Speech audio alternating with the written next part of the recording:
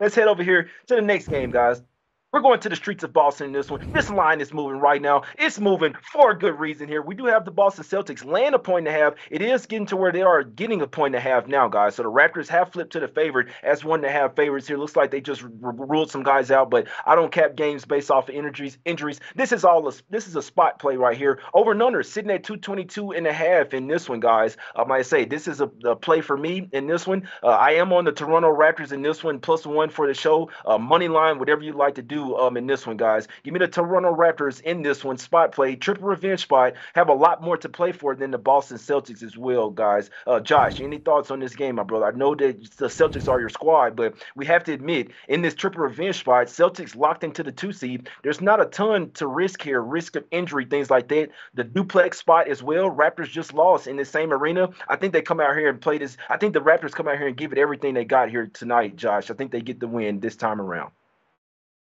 Yeah, I think you basically covered it all. I think Jaylen Brown just got ruled out as well while we're live. So, you know, there's confirmation that uh, Boston aren't exactly going to take this one too seriously. There's no reason for them to be putting a whole lot of effort in either. So it's all about sort of rest management, I think, for them these last couple of games locked into that two seed.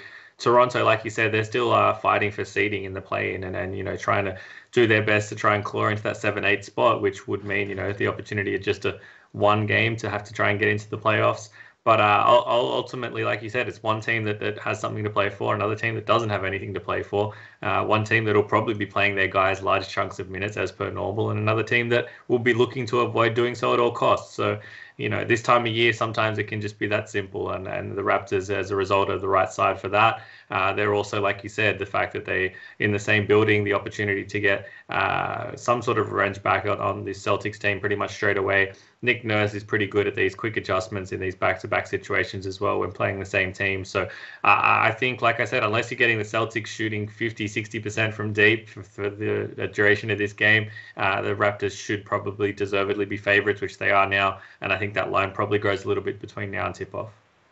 Exactly. Yeah. Give me the Raptors. I did hop on them plus one. I I still play them on the money line. Um, I still laid minus one and a half, minus two. I think the Raptors get with this win this game by at least five points, my guys. So give me the Raptors in this one, Alex. Uh, any thoughts on this game, my brother? Yeah, nothing terribly interesting to add. I think you guys nailed this spot the Celtics have nothing to play for. They can't get to one. They're not going to fall down to three. So it would make all the sense in the world. Let's rest some guys. Let's try to get some other guys some minutes here. Maybe give Brogdon a couple, a little bit of a run here. Give him some big stats. Maybe get a chance at that six man of the year award, which he's probably not going to win. But uh, there's just nothing in this for the Boston Celtics, and uh, they've been bad in bad spots all year. When there's no motivation, uh, these guys don't seem that interested in playing basketball. So uh, you take a look at everything. As much as I don't think Toronto is going to catch up um, to Atlanta there for the eighth spot, they're still locked in. They're still playing good basketball. So definitely Raptors are pass.